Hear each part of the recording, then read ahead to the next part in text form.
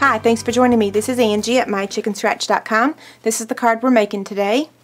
You're going to start out with a piece of Whisper White cardstock that measures four and a quarter by 11. You're going to score it at five and a half.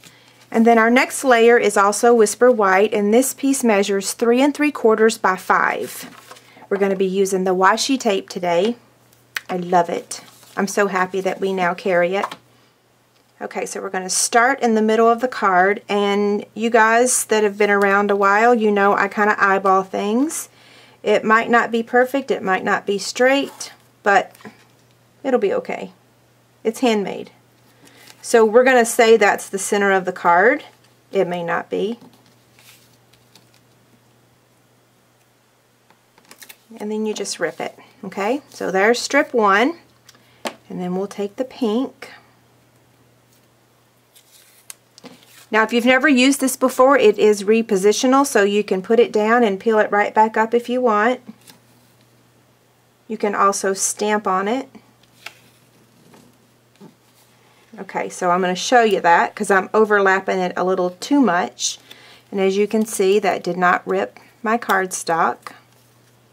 Let's start over. Maybe I won't talk as I position it.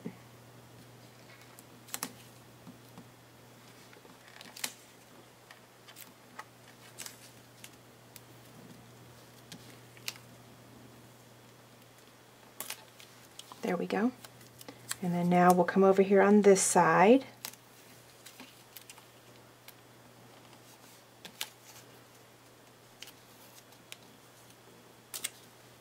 See how easy that is? And then the flowers.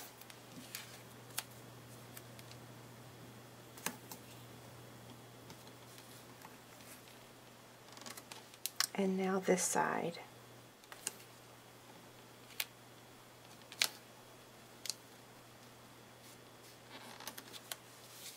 Looks pretty good. I was going to show you really quick. This is the uh, the one where I stamped thank you on it, so you can stamp on it. But um, you want to use black StazOn ink, okay? Because our ink is water-based. Okay, so now for the um, the baker's twine. I got this baker's twine from our Tag-A-Bag kit. It's on page 158. Um, what I did was I looked at our washi tape and I determined what colors I wanted to use and what colors of baker's twine that we have. So the Bermuda Bay is in here and so that was how I decided to use this color. Because we don't sell this by itself. I'm going to wrap this three times.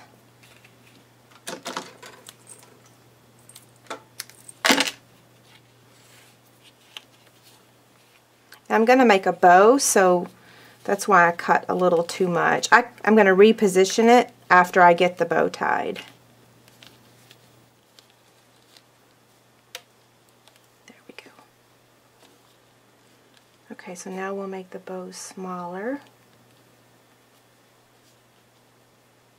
I usually leave it on the roll, but I wanted you guys to be able to see the process, so...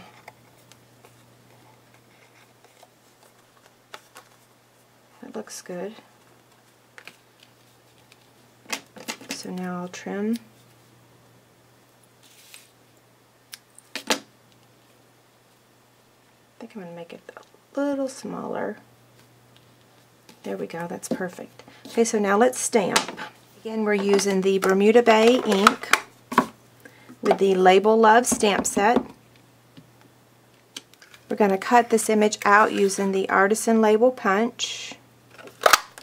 We're going to add a dimensional to the back. And while we've got our dimensionals, we're going to go ahead and add dimensionals to the back of this too.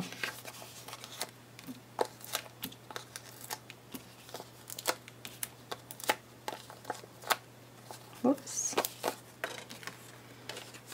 Okay, so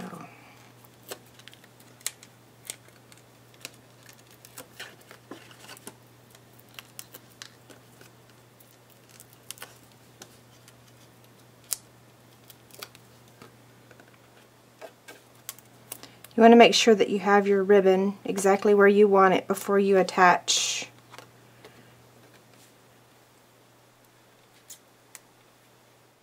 There we go. And then we'll add the greeting.